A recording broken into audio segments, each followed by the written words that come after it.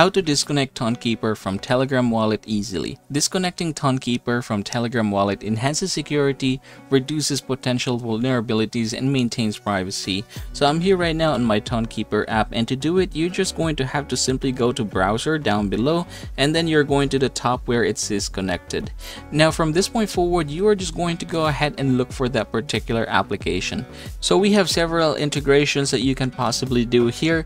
Timecoin, you have your community, your TON Raffles, prizes, Tonking, Private, Ton Llama, Hexacore bot, basically anything here, STON.fi, you can just go ahead and long press it just like so and then you can go ahead and tap the remove button here.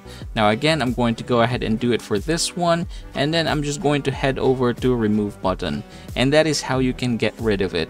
So again, uh, this is applicable regardless of what applications you have put here.